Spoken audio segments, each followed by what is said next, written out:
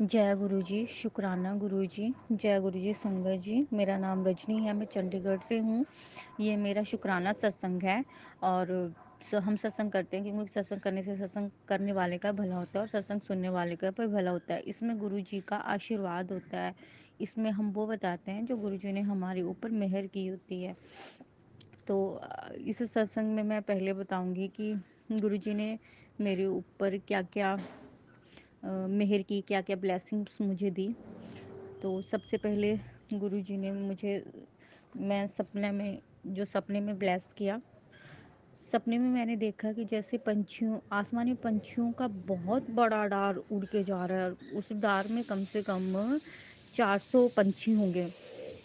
और वो बहुत बड़ी ब्लेसिंग है गुरु पिताजी की। तो इसके लिए गुरु पिताजी आपका बहुत बहुत शुक्राना, अनंतम शुक्राना। और दूसरा कि मुझे ऐसा लगा जैसे मैं खेतों में चल रही हूँ और जिस रास्ते पे चल रही हूँ, वहाँ आगे तितलियाँ उड़ती जा रही हैं। जहाँ जहाँ कदम रख रही हूँ, वहाँ बटरफ्लाइज उड़ती जा रही हैं। और सपने में तो हमें पता नहीं लगता, पर जैसे मैं उठी तो मुझे पता लगा कि ये भी गुरु पिताजी ब्लेस कर रहे हैं।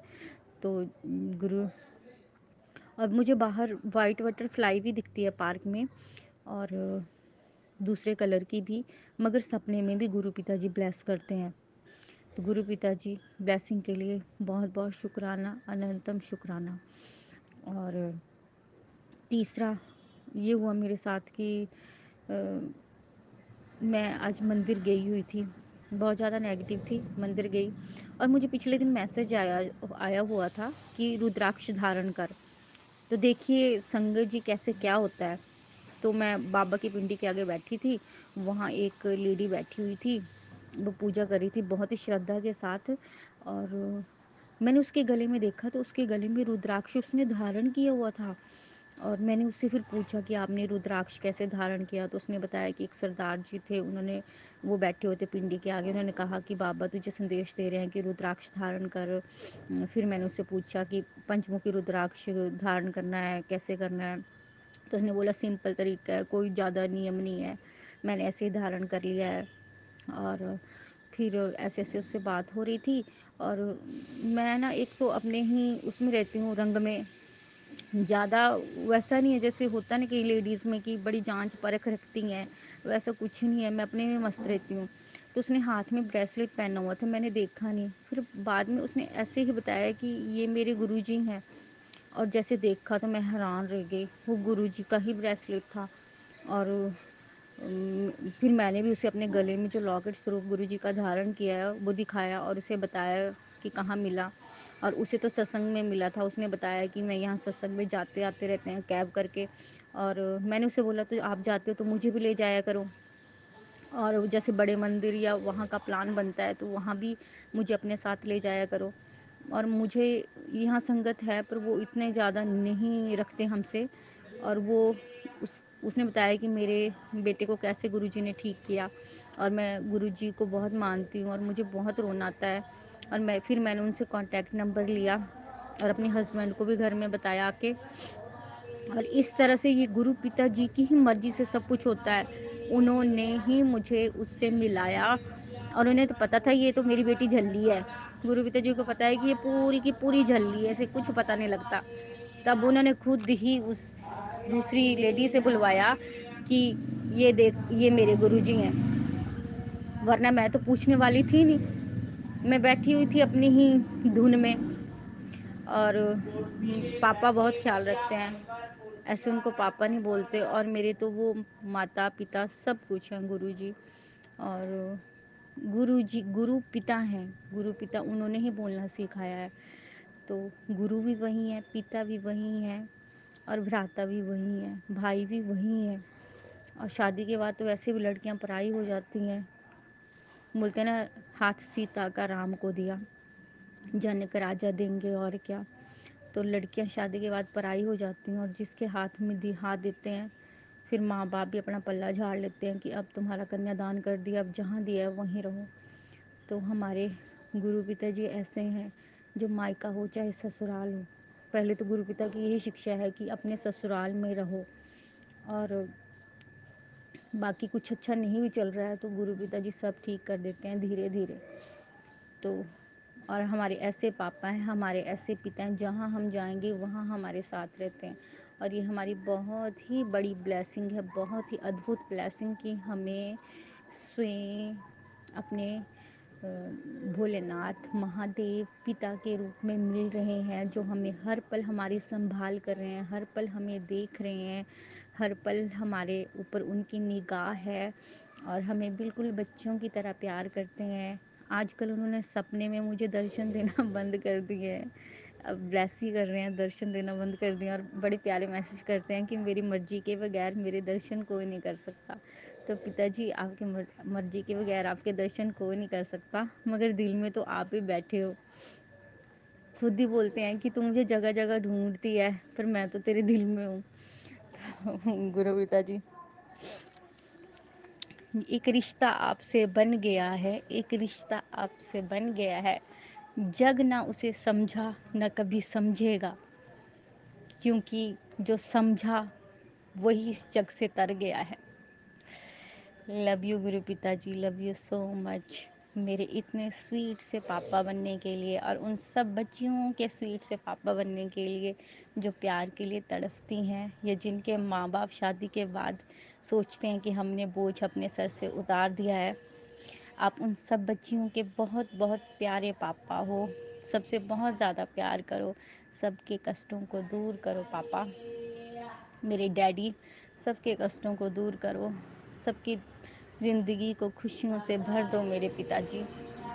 सबके घरों को रस्तों बसा दो, जिनके हस्बैंड उन्हें प्यार नहीं भी करते, उनके मन में प्यार भर दो और रिश्तों को मधुर बना दो, क्योंकि पति पत्नी का संबंध ही एक ऐसा संबंध है जो ईश्वर के आगे जुड़ता है और वो सबसे पवित्र संबंध है और उस संबंध को आपके अलावा कोई ठीक नहीं कर सकता और वो ईश्वर के द्वारा ही बनाया गया है।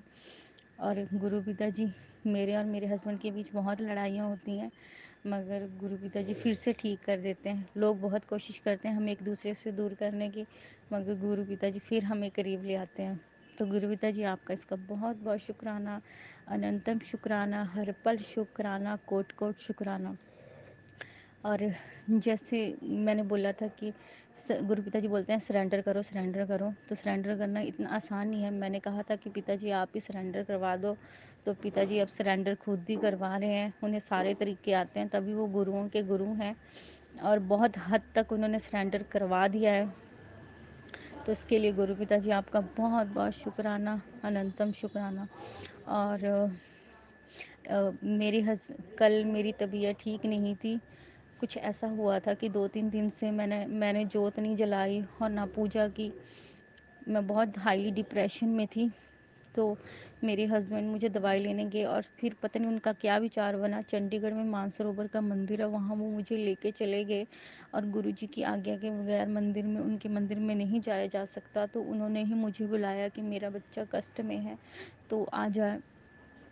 और फिर मैं वहाँ उनके आगे मंदिर में बैठी और फिर वहाँ पे मुझे पता नहीं था कि वहाँ पे ब्लेसिंग मिलती है तो वहाँ पे जो ऑफ़िस है, वहाँ पे मैं गई अंदर अपने आप ही और वहाँ पे मैंने एक उनकी ब्लेसिंग एक बड़ा स्वरूप लिया और दूसरा एक छोटा स्वरूप लिया, जो जिसमें एक रुपये का सिक्का लगा होता है और उन्हें लेके घर में आ गए।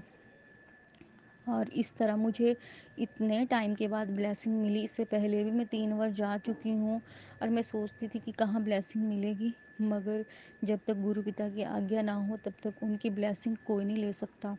और मैंने खुद ही उनके स्वरूप निकाले हुए थे, मगर बोलते हैं कि जो बिना पैसों के मिले उसमें वो गुरु पिता जी का आशीर्वाद होता है। और इसलिए वो पॉकेट स्वरूप मिला, अब मैं उसे साथ में ही रखूँगी। तो ये सब गुरु पिताजी की मेहर है और ये कोई छोटी बात नहीं है। गुरु पिताजी की आज्ञा के बगैर कुछ नहीं मिल सकता। तो गुरु पिताजी आपका बहुत बहुत शुक्राना, अनंतम शुक्राना हर पल शुक्राना। और गुरु पिताजी ने एक बात और एहसास करवा दी कि ये सारा बोलते ना, तेरे हथा दा खिलौना हाँ मैं दातिया। जिथे मर्ज़ी तू मैनू नचाई जा। तो हम सब उनके हाथों के खिलौने हैं। वो किसी के भी माइंड को कैसे भी डाइवर्ट कर सकते हैं। और ये सब चीज़ें मैंने अपनी आँखों से देखी और मुझे रियलाइज़ हो रहा है कि सबसे ऊपर सिर्फ़ गुरु जी हैं, गुरु पिता जी हैं। अगर वो राज़ी हैं तो सब राज़ी हैं। अगर वो राज़ी नहीं तो कोई भी राज़ी नहीं। और हम सब उनके हाथों के खिलौने हैं और उनसे प्रेम करेंगे, निस्वार्थ प्रेम करेंगे तो वो भी हमसे निस्वार्थ प्रेम ही ढूंढते हैं। और अगर उनका कोई भगत अपनी इच्छाएँ ले ले के उनके पीछे जाएगा कि मेरी ये इच्छा पूरी कर दो, मेरी वो कर दो तो जिसे वो चाहेंगे ना कि ये मेरे से मेरे को ही मांगे तो उसे तो वो बहुत मतलब उसका ऐसा हाल कर देते हैं जो आप सोच नहीं सकते। एंड में उसे हार माननी पड़ती है कि बाबा हमें कुछ नहीं चाहिए, हमें आप ही चाहिए। और बोलते हैं ना, रब से रब को मांगो तो रब से रब को तभी मांग सकते हैं जब रब की इच्छा हो। रब की इच्छा के बगैर रब को नहीं मांगा जा सकता। और जो मैंने भक्ति की थी तो मुझे रब तक के तो पहुँचना था। तो गुरु पिता जी ने खुद ही सिखाया था कि रब से रब को मांगो। और बीच में मैं फिर भटक जाती हूँ। तो फिर से वो झटका दे के सिखाते हैं कि रब से रब को मांगो, मुझसे मुझको मांगो, बुनियादी चीज़ें मत मांगो।